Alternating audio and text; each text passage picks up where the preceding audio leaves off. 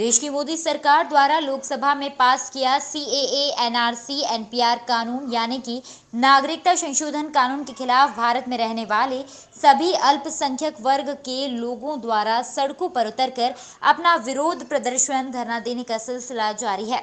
भाजपा सरकार द्वारा लागू काले कानून के खिलाफ रोष की गूंज दिल्ली दंगों में हिंसा का डरावना सच देखने में सामने आया। लागू कानून के खिलाफ रोष दिन प्रतिदिन बढ़ता जा रहा है इस कानून के खिलाफ पंजाब के जिला कपूरथला में सिख, वाल्मीकि और मुस्लिम भाईचारे के लोगों ने एकता पार्टी के बैनर के नीचे एकत्रित होकर देश की भाजपा की सरकार के खिलाफ रोष प्रदर्शन, रैली कपूरथला में निकाल, मोदी भगाओ, देश बचाओ, बैनर फूक, नागरिकता संशोधन कानून के खिलाफ अपना विरोध प्रदर्शन दर्ज करवाया। एकता पार्टी अध्यक्ष गुरमित लाल बिट्टू ने एक मांग पत्र डीएसपी को डिप्टी कमिश्नर के माध्यम से देश के राष्ट्रपति के नाम भेजा। इस मौके पर मीडिया को जानकारी देते हुए उन्होंने कहा। ਕਰਕੇ ਇੱਕੋ ਸਾਹਮਣੇ ਦੇਖ ਯਾਰ ਮੋਦੀ ਸਰਕਾਰ ਮੁਰਦਾਬਾਦ ਮੁਰਦਾਬਾਦ ਮੁਰਦਾਬਾਦ ਮੋਦੀ ਸਰਕਾਰ ਮੁਰਦਾਬਾਦ ਮੁਰਦਾਬਾਦ ਮੁਰਦਾਬਾਦ ਮੋਦੀ ਸਰਕਾਰ ਮੁਰਦਾਬਾਦ ਮੁਰਦਾਬਾਦ ਮੁਰਦਾਬਾਦ ਮੋਦੀ ਸਰਕਾਰ ਮੋਦੀ ਮਾਮਾ ਹਾਏ ਹਾਏ ਮੋਦੀ ਮਾਮਾ ਮਰ ਗਿਆ ਮਰ ਗਿਆ ਮਰ ਗਿਆ ਮੋਦੀ ਮਾਮਾ ਮਰ ਗਿਆ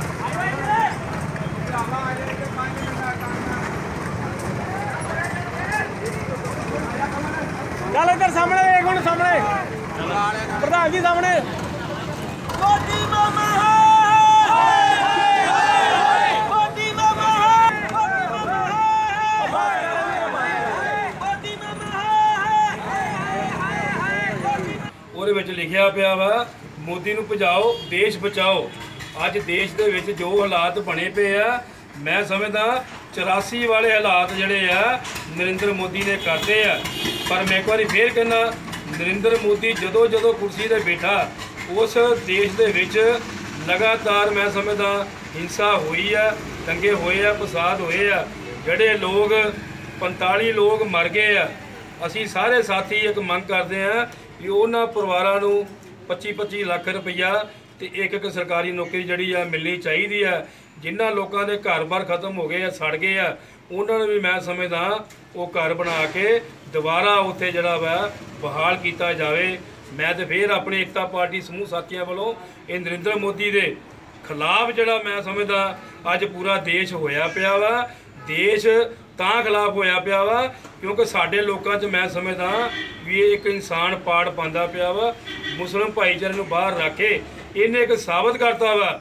ਵੀ ਜਿਹੜੀ 83 ਵਾਲਾ ਕੰਮ ਜਿਹੜਾ ਵਾ, ਉਹ ਦੁਬਾਰਾ ਜਿਹੜਾ ਵਾ ਫੇਰ ਬਾਲ ਕੀਤਾ ਜਾਊਗਾ। ਪਰ ਅੱਜ ਲੋਕ ਜਿਹੜੇ ਆ, ਉਹ ਸਾਰੀਆਂ ਧਰਮਾਂ ਦੇ ਜਾਗ ਚੁੱਕੇ ਆ।